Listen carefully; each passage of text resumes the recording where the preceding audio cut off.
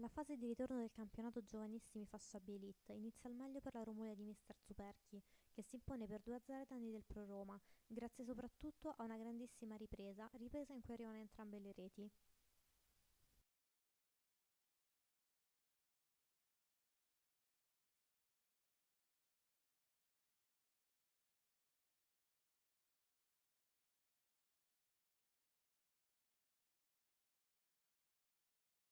Prima palla gol della partita è proprio per i padroni di casa, con, Bacio- con Pacioni che dalla destra effettua l'assist per il colpo di testa di Petrarchi, al quale si oppone Passeri negandogli il gol.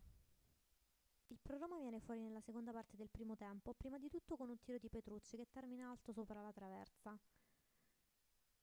Ci riprovano al venticinquesimo con Zanoletti che ruba un pallone in prossimità del limite dell'area e lo passa a Capri, quest'ultimo va al tiro, ma si vede negare il gol da un giocatore della Romulea che salva proprio sulla linea, vanificando quella che è l'occasione da gol più netta per i ragazzi di mister Orlandi.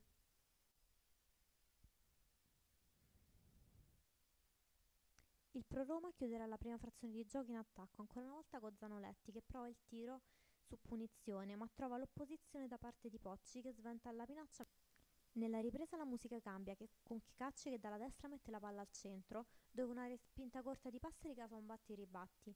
La palla giunge all'indietro per Lacchè che va al tiro e non sbaglia, centrando il secondo palo e portando la Romulea finalmente in vantaggio.